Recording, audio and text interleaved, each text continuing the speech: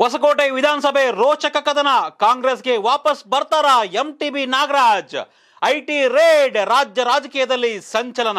S ವೀಕ್ಷಕರೇ ಕರ್ನಾಟಕ ಟಿವಿಗೆ ಸ್ವಾಗತ. ನಾನು ಸತೀಶ್ ಆಂಜಿನಪ್ಪ ರಾಜ್ಯ ರಾಜಕಾರಣದಲ್ಲಿ ದಿನೇ ದಿನೇ ರಾಜಕೀಯ ರಣಾಂಗಣ ರೋಚಕತೆಯನ್ನು ಪಡ್ಕೊಳ್ತಾ ಇದೆ. ಏನಾಗುತ್ತೆ ಎರಡ್ ಸಾವಿರದ ಇಪ್ಪತ್ತ್ ಮೂರಕ್ಕೆ ಕರ್ನಾಟಕ ಅಸೆಂಬ್ಲಿ ವಿಧಾನಸಭಾ ಅನ್ನೋ ಒಂದು ಕುತೂಹಲ ಇದೆ. ಈ ನಡುವೆ ಕೆಲವೊಂದಿಷ್ಟು ಕ್ಷೇತ್ರಗಳಲ್ಲಿ ಈಗಾಗಲೇ ಒಂದು ಹೊಸ ರೀತಿಯ ಸಂಚಲನವನ್ನ ಸೃಷ್ಟಿ ಮಾಡ್ತಾ ಇದೆ. ಅದರಲ್ಲೂ ಕೂಡ ಇತ್ತೀಚೆಗೆ ಕಾಂಗ್ರೆಸ್ನವರು ತುಂಬಾ ಆರೋಪ ಮಾಡ್ತಾ ಇದ್ರು. ಬೇ, ಕೇವಲ C B I I T, ಕೇಂದ್ರ ಸರ್ಕಾರದಲ್ಲಿ ಏನೆಲ್ಲ ಇದಾವೆ, ಎಲ್ಲವೂ ಕೂಡ ಕಾಂಗ್ರೆಸ್ ವಿರುದ್ಧ ಮಾತ್ರ ರೇಡ್ ಆಗುತ್ತೆ. ಬಿಜೆಪಿ ಯಾರು ತಪ್ಪೇ ಮಾಡಿಲ್ವಾ? ಅವ್ರ ವಿರುದ್ಧ ಯಾಕೆ ರೇಡ್ ಆಗ್ತಾ ಇಲ್ಲ ಅಂತ. ಸೊ ಈ ಪ್ರಶ್ನೆ ತುಂಬಾ ಸಲ ಉದ್ಭವಿಸಿತ್ತು.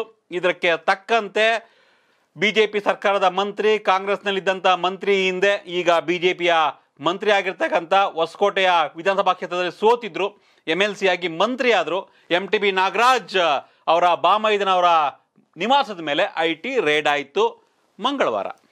ಸೊ ಅದಾದ ನಂತರ ಯಾಕೆ ರೇಡ್ ಆಯಿತು? ಇದಕ್ಕಿದ್ದಂಗೆ ಸಚಿವರೊಬ್ಬರ ಆಪ್ತರ ಮೇಲೆ, ಅವರ ಬಾಮೈದನ ನಿವಾಸದ ಮೇಲೆ, ಒಂದು ರೀತಿಯ ಅವ್ರ ಮೇಲೆ ಆದಂತಹ ಐ ಟಿ ದಾಳಿನೇ ಅಂತ ಹೇಳ್ಬೋದು ಅದನ್ನ.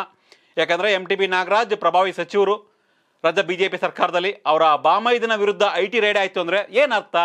ಯಾಕೆ ದಿಢೀರಂತ ಎಂ ಟಿ ಬಿ ನಾಗರಾಜ್ ಅವರ ಬಾಮೈದ ಚಂದ್ರಶೇಖರ್ ಅವರ ನಿವಾಸದ ಮೇಲೆ ಐ ಟಿ ರೇಡ್ ಆಯಿತು. ಎಸ್ ಇದ್ರ ಹಿಂದೆ ತುಂಬಾ ದೊಡ್ಡ ರಾಜಕೀಯ ಇದೆ ಅನ್ನೋ ಒಂದು ಚರ್ಚೆ ಈಗ ರಾಜಕೀಯ ಪಡಸಾಲೆಯಲ್ಲಿ ಕರ್ನಾಟಕ ರಾಜ್ಯ ರಾಜಕಾರಣದಲ್ಲಿ ನಮ್ಮ ಬೆಂಗಳೂರಿನ ಪತ್ರಕರ್ತರ ವಲಯದಲ್ಲಿ ಒಂದು ಚರ್ಚೆ ಆಗ್ತಾ ಇದೆ. ಯಾಕಪ್ಪ ಅಂದ್ರೆ ಎಂ ಟಿ ಬಿ ನಾಗರಾಜ್ ಕಾಂಗ್ರೆಸ್ಗೆ ವಾಪಸ್ ಬರ್ತೇನೆ ಅನ್ನೋ ಒಂದು ಚರ್ಚೆ ನಡೆದಿತ್ತಂತೆ. ಇದು ಅಂತೆ ಕಂತೆ. ಎಸ್ ಮೊದಲೇ ಹೇಳ್ತಾ ಇದೀವಿ, ಇದು ರಾಜ್ಯ ರಾಜಕಾರಣದಲ್ಲಿ ಆಗ್ತಿರ್ತಕ್ಕಂಥ ಚರ್ಚೆ. ಜೊತೆಗೆ ಪತ್ರಕರ್ತರ ವಲಯದಲ್ಲಿ ವಿಧಾನಸೌಧ ಪಡಸಾಲೆಯಲ್ಲಿ ಈಗ ಈಗೊಂದು ಚರ್ಚೆ ಆಗ್ತಾ ಇದೆ. ಎಂ ಟಿ ಬಿ ನಾಗರಾಜ್, ನಾನು ಮತ್ತೆ ವಾಪಸ್ ಕಾಂಗ್ರೆಸ್ ಬರ್ತೇನೆ. ಸೊ ಈ ಹಿನ್ನೆಲೆಯಲ್ಲಿ ಕೆಲವೊಂದಿಷ್ಟು ನಾಯಕರ ಜೊತೆ ಗುಪ್ತವಾಗಿ ಮಾತುಕತೆ ನಡೆದಿತ್ತು ಅನ್ನೋ ಒಂದು ಅಂಶ ಈಗ ಬಯಲಾಗ್ತಾ ಇದೆ. ವಿಶೇಷವಾಗಿ ಈಗೇನು ಎಂ ಎಲ್ ಸಿ ಆಗಿದ್ದಾರೆ ಎಂ ಟಿ ಬಿ ನಾಗರಾಜ್, ನಾನು ಎಂ ಎಲ್ ಸಿ ಆಗಿ ಮುಂದುವರಿತೀನಿ. ಆದರೆ ಹೊಸಕೋಟೆ ವಿಧಾನಸಭಾ ಕ್ಷೇತ್ರದಿಂದ ನನ್ನ ಮಗ ನಿತೀಶ್ ಎಂ ಟಿ ಬಿ ಅಥವಾ ನಿತೀಶ್ ಪುರುಷೋತ್ತಮ್ಗೆ ಟಿಕೆಟ್ ಕೊಡಿ ಅನ್ನೋ ಒಂದು ಚರ್ಚೆ ಆಗಿತ್ತು ಅನ್ನೋ ಒಂದು ಮಾಹಿತಿ ಹೊರಬರ್ತಾ ಇದೆ. ಸೊ ಯಾವಾಗ ಎಂ ಟಿ ಬಿ ನಾಗರಾಜ್ ನಾನು ಮತ್ತೆ ಕಾಂಗ್ರೆಸ್ಗೆ ಹೋಗ್ತೀನಿ, ಕಾಂಗ್ರೆಸ್ಗೆ ಹೋಗುವಂತ ಬಗ್ಗೆ ಚರ್ಚೆ ಆಗ್ತಾ ಇತ್ತು ಅನ್ನೋ ಒಂದು ಅಂಶ ಬಿ ಜೆ ಬಿಜೆಪಿ ಗೊತ್ತಾಯ್ತು.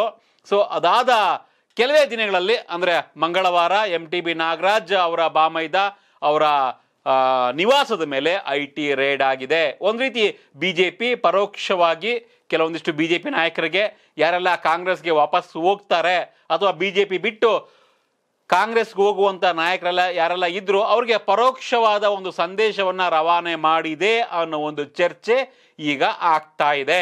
ಎಂ ಟಿ ಬಿ ನಾಗರಾಜ್ ಅವರ ಬಾಮೈದಿನ ಮೇಲೆ ಏನು ಐ ಟಿ ರೇಡ್ ಆಯಿತು. ಅದಾದ ತಕ್ಷಣ ಒಂದು ವೇಳೆ ಬಿಜೆಪಿಯನ್ನ ಬಿಟ್ರೆ ಉಳಿದವ್ರಿಗೂ ಇದೇ ಗತಿನ ಅನ್ನೋ ಒಂದು ಚರ್ಚೆ ಆಗ್ತಾ ಇದೆ. ಈ ನಡುವೆ ಓಕೆ ಆಗಿದ್ದಾಯಿತು ಅಂತ ತುಂಬಾ ಬೇಸರವನ್ನ ವ್ಯಕ್ತಪಡಿಸ್ತಾ ಇದ್ದಾರೆ. ಎಂ ಟಿ ಬಿ ನಾಗರಾಜ್ ಈ ಹಿಂದೆ ನಾಲ್ಕೈದು ದಿನಗಳ ಹಿಂದಷ್ಟೇ ಏನು ಸರ್ಕಲ್ ಇನ್ಸ್ಪೆಕ್ಟರ್ ನಂದೀಶ್ ಅವರ ಸಾವಾಗಿತ್ತು ಹೃದಯಾಘಾತದಿಂದ. ಸೊ ಆ ಒಂದು ಸಾವಿಗೆ ಬಂದಾಗಲೂ ಕೂಡ ಕೆಲವೊಂದಿಷ್ಟು ವಿವಾದವನ್ನು ಸೃಷ್ಟಿ ಮಾಡ್ಕೊಂಡಿದ್ರು. ಎಪ್ಪತ್ತೆಂಬತ್ತು ಲಕ್ಷ ಕೊಟ್ಟು ಬಂದರೆ ಈ ಥರ ಹುದ್ದೆಗೆ ಪೋಸ್ಟಿಂಗ್ ಹಾಕಿಸ್ಕೊಂಡ್ರೆ ಹೃದಯಾಘಾತ ಆಗಿದ್ರೆ ಇನ್ನೇನಾಗುತ್ತೆ ರೀ ಅನ್ನೋ ಒಂದು ಮಾತನ್ನು ಆಡಿದ್ರು. ಜೆ ಪಿ ಸರ್ಕಾರದ ವಿರುದ್ಧ ಬಿ ಜೆ ಪಿ ಮಂತ್ರಿಯೇ ಒಂದು ರೀತಿ ಭ್ರಷ್ಟಾಚಾರದ ಆರೋಪವನ್ನು ಮಾಡಿದ್ರು. ಸೊ ಈ ಎಲ್ಲ ಒಂದು ಅಂಶಗಳನ್ನ ಪರಿಗಣಿಸಿದ್ರೆ ಎಂ ಟಿ ಬಿ ನಾಗರಾಜ್ ಕಾಂಗ್ರೆಸ್ಗೆ ಹೋಗೋ ಸಾಧ್ಯತೆ ಇದೆ ಅನ್ನೋ ಒಂದು ಚರ್ಚೆ ಈಗ ಆಗ್ತಾ ಇದೆ. ಸೊ ಅಲ್ಲಿಗೆ ಒಂದು ಕಡೆ ಐ ಟಿ ರೇಡ್ ಆಯ್ತು. ಒಂದು ಕಡೆ ಸರ್ಕಾರದ ವಿರುದ್ಧ ಮಾತನಾಡಿದ್ರು. ಸೊ ಇವೆಲ್ಲ ಬೆಳವಣಿಗೆಗಳು ನೋಡ್ತಾ ಇದ್ರೆ ಒಂದು ಹೆಜ್ಜೆ ಮುಂದೆ ಇಟ್ಟಂತೆ ಕಾಣಿಸ್ತಾ ಇದೆ. ನಿನ್ನೆ ಅಷ್ಟೇ ಡಿ ಕೆ ಶಿವಕುಮಾರ್ ಮಾತಾಡ್ತಾ ಇದ್ರು. ಯಾರು ಬಂದರೂ ಕೂಡ ನಾವು ಸ್ವಾಗತ. ಬೇಷರತ್ತಾಗಿ ಕಾಂಗ್ರೆಸ್ ಬಿಟ್ಟೋಗಿರೋರು ಅಥವಾ ಪಿಲಿ ಇರ್ತಕ್ಕಂಥವ್ರು ಅಥವಾ ಜೆ ಡಿ ಎಸ್ ಇರ್ತಕ್ಕಂಥ ನಾಯಕರು ಯಾರೇ ಕೂಡ ಕಾಂಗ್ರೆಸ್ಗೆ ಬಂದ್ರೆ ಸ್ವಾಗತ. ಅವ್ರಿಗೆ ಟಿಕೆಟ್ ಬೇಕಾದ್ರೆ ಅರ್ಜಿ ಹಾಕ್ಲಿ. ನಾವು ನೋಡಿ ಟಿಕೆಟ್ ಕೊಡ್ತೀವಿ ಅನ್ನೋ ಒಂದು ಮಾತನ್ನ ಡಿ ಕೆ ಶಿವಕುಮಾರ್ ಹೇಳಿದರು. ಸೊ ಇದರ ಬೆನ್ನಿಗೆ ಎಂ ಟಿ ಬಿ ನಾಗರಾಜ್ ತನಗೆ ಟಿಕೆಟ್ ಬೇಡ, ತನ್ನ ಮಗನಿಗೆ ಹೊಸಕೋಟೆ ವಿಧಾನಸಭಾ ಕ್ಷೇತ್ರದಿಂದ ಟಿಕೆಟ್ ಕೊಡಿ ಅನ್ನೋ ಒಂದು ಚರ್ಚೆ ಆಗಿದೆ ಅನ್ನೋ ಒಂದು ಮಾಹಿತಿ ಬರ್ತಾ ಇದೆ. ಈ ನಡುವೆ ಈಗೆಲ್ಲ ಐ ಟಿ ರೇಡ್ ಆಗೋಯ್ತು, ಸರ್ಕಾರದ ವಿರುದ್ಧ ಮಾತನಾಡಿದ್ರು. What next M T B Nagaraj ಮುಂದೆ ಏನು ಮಾಡ್ತಾರೆ? ಸೊ ಬಿ ಜೆ ಪಿಯಲ್ಲೇ ಉಳಿತಾರ ಅಥವಾ ಕಾಂಗ್ರೆಸ್ಗೆ ವಾಪಸ್ ಬರ್ತಾರಾ ಅನ್ನೋ ಒಂದು ಚರ್ಚೆ ಆಗ್ತಾ ಇದೆ.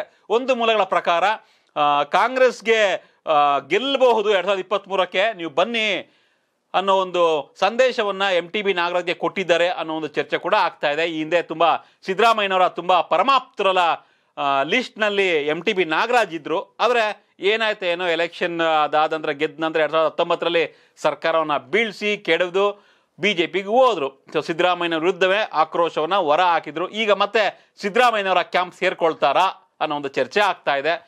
ಬಿ ಎನ್ ಬಚ್ಚೇಗೌಡರು ಬಿ ಜೆ ಪಿಲಿದ್ದಾರೆ ಅವ್ರ ಮಗ ಕಾಂಗ್ರೆಸ್ನಲ್ಲಿ ಇದ್ದಾರೆ ಶರತ್ ಬಚ್ಚೇಗೌಡರು. ಸೊ ಈಗ independent M L A ಹೊಸಕೋಟೆಯ independent M L A but ಎರಡ್ ಸಾವಿರದ ಇಪ್ಪತ್ತ್ಮೂರಕ್ಕೆ ಕಾಂಗ್ರೆಸ್ನಿಂದ ಟಿಕೆಟ್ ಸಿಗೋದು ಬಹುತೇಕ ಫಿಕ್ಸ್ ಆಗಿದೆ.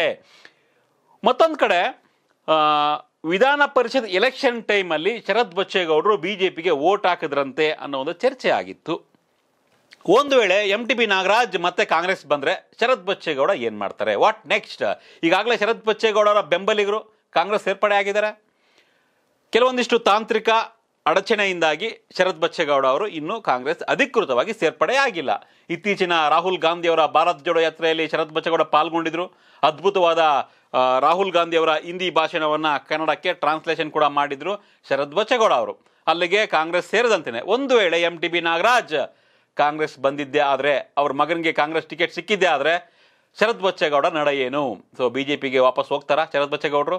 ನೋಡೋಣ, ಒಟ್ಟಿನಲ್ಲಿ ಹೊಸಕೋಟೆ ವಿಧಾನಸಭಾ ಕ್ಷೇತ್ರ, ಹೊಸಕೋಟೆ ಕದನ, ಹೊಸಕೋಟೆ ರಣಾಂಗಣ ರೋಚಕ ಆಗ್ತಾ ಇದೆ ದಿನೇ ದಿನೇ.